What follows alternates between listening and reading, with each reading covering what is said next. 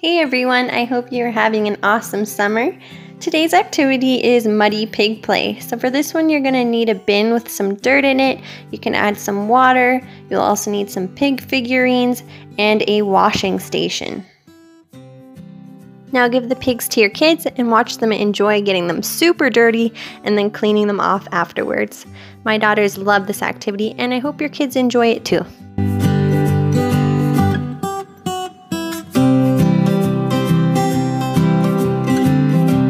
So much for watching. If you enjoyed this video, please give it a thumbs up and share it with a friend.